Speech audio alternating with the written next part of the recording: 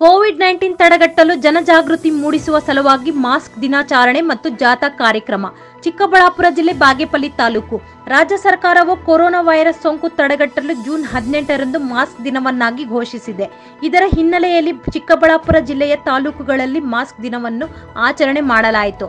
ಬಾಗೇಪಲ್ಲಿ ಪಟ್ಟಣದಲ್ಲಿ ಜಾಥಾ ಕಾರ್ಯಕ್ರಮ ಹಮ್ಮಿಕೊಂಡು ಸಾರ್ವಜನಿಕರಲ್ಲಿ ಅರಿವು ಮೂಡಿಸಲಾಯಿತು.